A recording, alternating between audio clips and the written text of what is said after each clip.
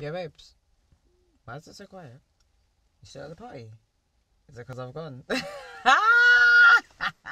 My name is Michelle Tiwo. I am an actor, writer, performer, and producer.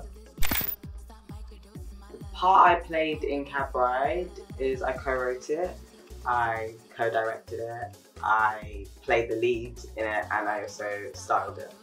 Cab Ride means a lot to me. It is my baby. Uh, a lot of sweat, a lot of tears, a lot of blood went into making this happen.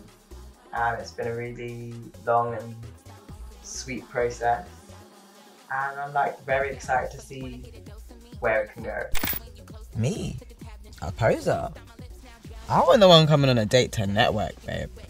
First and foremost, I find that, you know, most black queer film is made completely self-funded.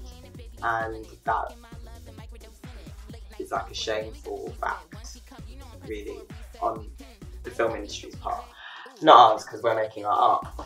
So i think that you know it's unfortunate that we have to continue self-funding our work for it to get made but at this point you know we'd rather have it for the community by the community than take offers where we have to compromise ourselves